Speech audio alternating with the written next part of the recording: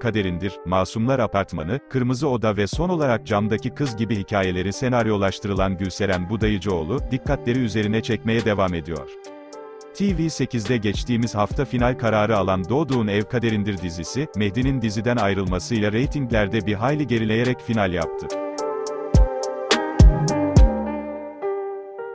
Esasında İbrahim Çelikkol diziden ayrılmasaydı ve senaryo iyi idare edilebilseydi, 3. sezonu görebilirdik. Ama bunlar maalesef olmadı.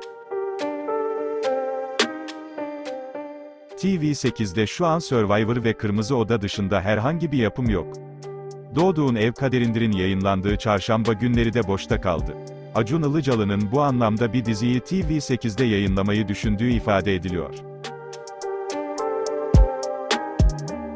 Sosyal medyada ortaya çıkan bir fotoğrafta, Acun Ilıcalı, Gülseren Budayıcıoğlu ile bir fotoğraf paylaştı. Fotoğrafta ikilinin Survivor'ın çekimlerinin yapıldığı Domini'ye gittiği öğrenildi.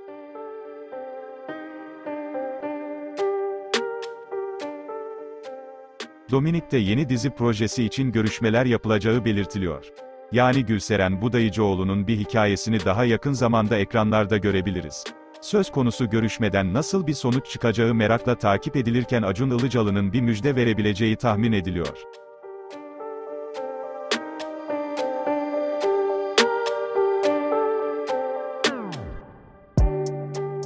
Survivor'ın Temmuz'a doğru sona ermesiyle MasterChef ekranlara gelecek.